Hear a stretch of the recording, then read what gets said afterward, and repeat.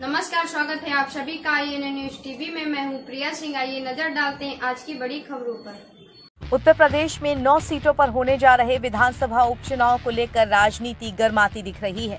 UP विधानसभा चुनाव 2027 के पहले प्रदेश में हो रहे इस बड़े चुनाव में समाजवादी पार्टी और कांग्रेस अपने अपने दावे करती दिख रही है।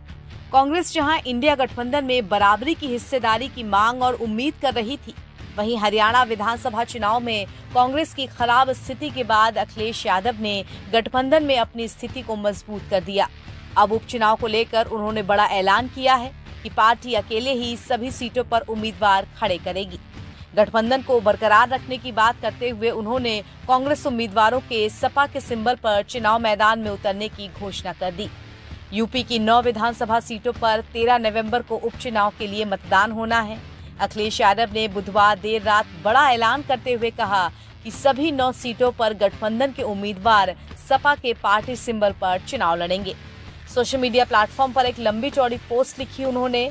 इसके ज़रिए अखिलेश यादव ने उपचुनाव को लेकर अपनी तरफ़ से उम्मीदवारों के खड़े करने का ऐलान कर दिया।